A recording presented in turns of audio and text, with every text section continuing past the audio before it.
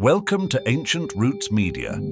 Today we are going to explore the healing power of 396 Hz frequency, specifically for unlocking your root chakra. The root chakra, also known as the Muladhara, is located at the base of the spine and is associated with grounding, stability and security. By listening to the 396 Hz frequency, we can bring balance to this important energy center in our body. The 396 Hz frequency has been used for centuries as a powerful tool for healing and transformation. Its vibrations resonate with the root chakra, helping to remove any blockages or imbalances that may be causing stagnation or discomfort.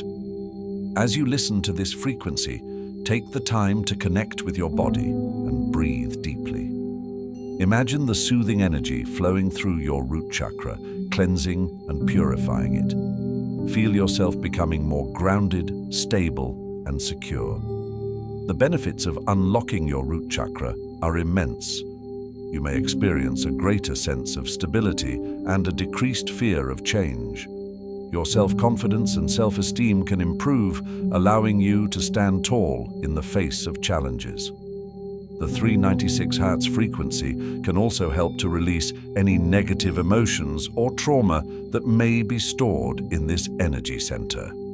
Remember to practice this meditation regularly to maintain a healthy and balanced root chakra.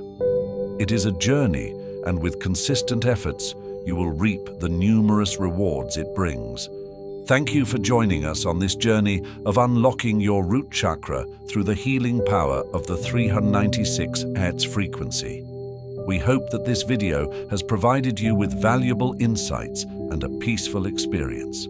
Don't forget to subscribe to our channel for more transformative content like this. Keep exploring, keep healing, and be well.